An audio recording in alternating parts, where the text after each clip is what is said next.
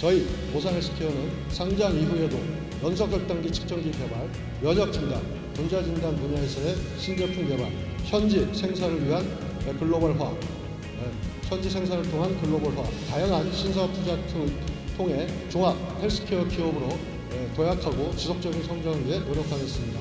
지금 이 자리는 단순히 상장을 축하하기 위한 것이 아닌 새로운 시작을 위한 자리라고 생각합니다.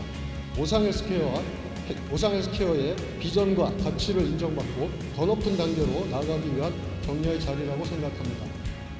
우리 앞에 놓여 있는 더 큰 책임과 의무를 다하는 기업으로 발전하겠다고 민주공과 함께 약속드립니다.